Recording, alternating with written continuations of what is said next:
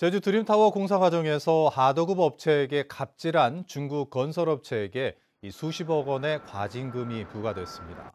공정거래위원회는 중국 건축고분 유한공사 영업소가 공사를 하도급 업체에 맡기면서 계약 서면을 발급하지 않았고 물가 변동에 따른 대금 조정을 못하도록 부당한 특약을 설정했다며 과징금 30억 원을 부과했다고 밝혔습니다.